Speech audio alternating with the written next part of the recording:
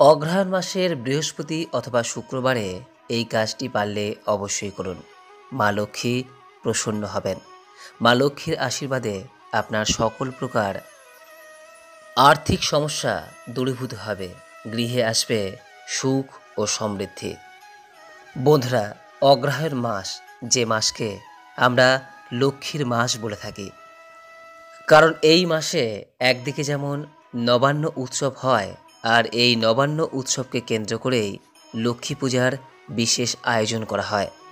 যে কারণে এই মাসটিকে একটি গুরুত্বপূর্ণ মাস বলেই গণ্য করা হয়। তাই এই মাসের লক্ষ্মীবার অর্থাৎ বৃহস্পতি অথবা শুক্রবারে মা লক্ষ্মীর উদ্দেশ্যে বিভিন্ন নিয়ম ও উপাচার পালন করা হয়ে থাকে। বন্ধুরা, শাস্ত্র অনুসারে অগ্র শব্দের অর্থ হলো আগে এবং হায়ন শব্দের অর্থ হলো বছর। বছরের আগে বা শুরুতে এই মাস প্রথম দিকে ছিল, যে কারণে এই মাসের নাম হয় অগ্রহায়ণ অগ্রহায়ণ শব্দের আবিধানিক অর্থ হল বছরের যে সময় শ্রেষ্ঠ ব্রীহি, অর্থাৎ ধান উৎপন্ন হয়। সুদূর অতীতে এই সময় প্রচুর ধান উৎপাদিত হতো বলে এই মাসটিকেই বছরের প্রথম মাস ধরা হতো। পরবর্তী সময়ে বৈশাখ মাস প্রথম মাস হিসেবে বাংলা ক্যালেন্ডারে স্থান লাভ করে। তবে অগ্রহায়ণের গুরুত্ব কিন্তু কখনোই কমে যায়নি। বিশেষ করে বিবাহের ক্ষেত্রে শ্রেষ্ঠ মাস হিসেবে এই অগ্রহায়ণ মাসকে গণ্য করা হয়ে থাকে এবং এই মাসকেই অন্যদিক থেকে লক্ষ্মীর মাস বলা হয়ে থাকে। তাই মা লক্ষ্মীর কৃপা ধন্য পেতে এই মাস গুরুত্বপূর্ণ ভূমিকা নেয়। তবে লক্ষ্মী দেবীকে কেবলমাত্র টাকা পয়সার দেবী যদি আমরা ভাবি, তাহলে কিন্তু ভুল ভাবা হয়। কারণ মা লক্ষ্মীর পরিচয় শুধু ওইটুকুতেই সীমাবদ্ধ নয়। মা লক্ষ্মী শুধু ধনই দেন না, তিনি জ্ঞান এবং সচ্চরিত্র প্রদান করেন। এক কথায়, লক্ষ্মী পূজার মাধ্যমে মানুষ সার্বিকভাবে সুন্দর এবং চরিত্রবান হয়ে ওঠে এবং পাশাপাশি গৃহে সুখ, শান্তি এবং সমৃদ্ধি নিয়ে আসেন মা লক্ষ্মী। তাই শুধুমাত্র মা লক্ষ্মীকে টাকা কড়ি দিয়ে বিচার করলে ভুল করা হয়। আর এই অগ্রহায়ণ মাসে, অর্থাৎ লক্ষ্মী মাসে, বিশেষভাবে মা লক্ষ্মীর আরাধনা করা প্রয়োজন। বিশেষ করে এই অগ্রহায়ণ মাসের প্রত্যেকটি বৃহস্পতিবারে বেশ কিছু নির্দিষ্ট আচার অনুষ্ঠান করা অবশ্যই প্রয়োজন, যদি সম্ভব হয়। আর আপনারা নিশ্চয়ই জানেন যে বৃহস্পতিবার আমরা মূলত লক্ষ্মী বার হিসেবেই বলে থাকি। তাই এই লক্ষ্মী মাসে লক্ষ্মী বারে মা লক্ষ্মীর বিশেষভাবে অবশ্যই কিন্তু পুজো করা প্রয়োজন। তবে এই পূজা পার্বণের জন্য কোনো পণ্ডিতের বা ব্রাহ্মণের কিন্তু প্রয়োজন নেই। আপনি নিজেও খুব সহজেই কিন্তু নিষ্ঠা সহকারে এই পূজা করতে পারবেন। পূজা করার জন্য আপনাকে লক্ষ্মী মূর্তি আনতে হবে এমনও কোনো কথা নেই। কারণ আপনার গৃহে যে লক্ষ্মী মূর্তিটি রয়েছে বা লক্ষ্মীর যদি কোনো ছবিও থাকে, তাহলেও হবে। আর এই পূজা আপনি সকালবেলাতেও করতে পারেন আর সন্ধেবেলাতেও করতে পারেন। যে কোনো একটি সময়ে আপনার সময় এবং সুযোগ মতো আপনি করতে পারেন। তবে সব থেকে ভালো হয় সন্ধেবেলায় মা লক্ষ্মীর এই বিশেষ আরাধনা করলে। আর সকালবেলা যদি আপনার করতেই হয়, একান্তই যদি সময় না থাকে সন্ধেবেলায়, তাহলে সেক্ষেত্রে নটার মধ্যে এই পূজা পর্বটি অবশ্যই সেরে নেবেন। পূজা করার সময় যে সমস্ত উপকরণগুলি প্রথমে সংগ্রহ করে নেবেন তা খুবই সামান্য এবং আপনি হাতের কাছেই অনেক কিছু পেয়ে যাবেন।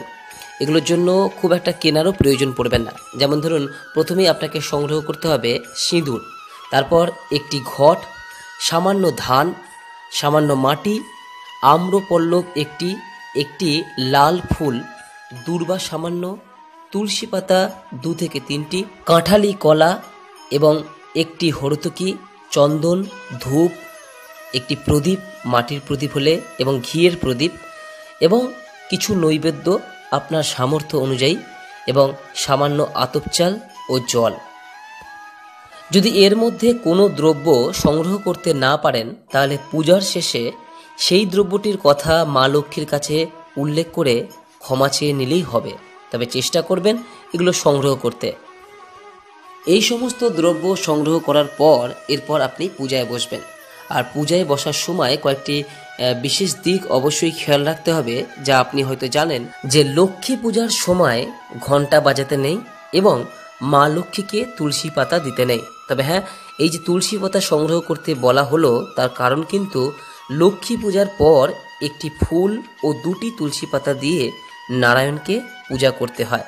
নারায়ণের বুকে কিন্তু তুলসী পাতা দিতে হয়। এবং আরও একটি বিষয়, মা লক্ষ্মীকে যে নৈবেদ্য দিয়েছেন, সেই নৈবেদ্য কোনো লোহা বা স্টিলের বাসন কোসনে ব্যবহার করবেন না।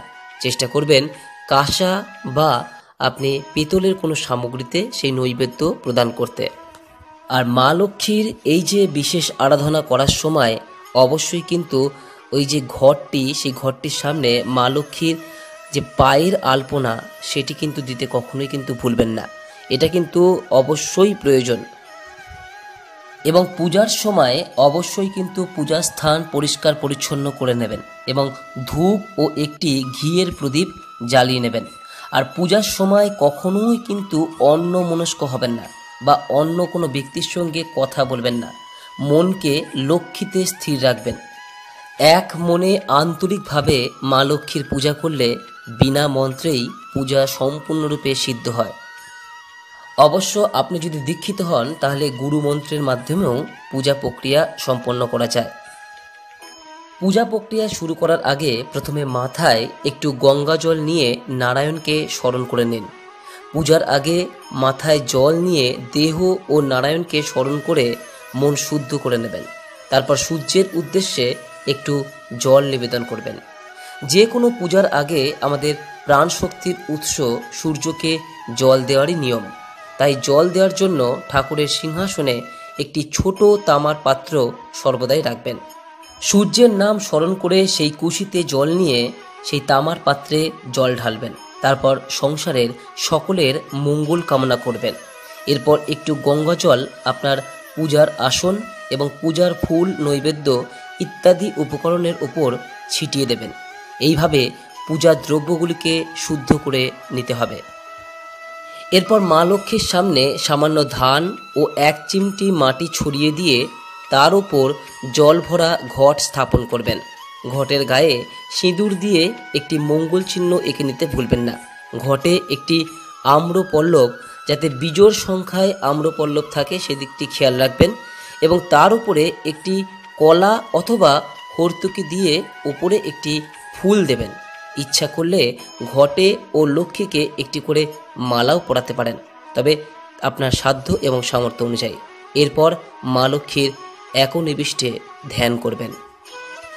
চোখ বুঝে মা লক্ষ্মীর রূপটি মনে মনে চিন্তা করবেন এবং মা লক্ষ্মীকে আপনার ঘরে আহ্বান করবেন। পরিষ্কারভাবে বাংলায় বলবেন, এসো মা লক্ষ্মী, বসো ঘরে, আমার ঘরে থেকেও আলো করে। আর তারপর ভাববেন যে মা লক্ষ্মী আপনার হৃদয়ে এসে বসে আপনার দেওয়া ফুল নৈবেদ্য গ্রহণ করছেন। একেই বলা হয় মানস পূজা। এরপর আপনার পূজার দ্রব্যগুলি একে একে মা লক্ষ্মীকে নিবেদন করবেন। মা লক্ষ্মীর যে বাহন, সেই পেঁচাকেও কিন্তু একটি ফুল দিতে ভুলবেন না।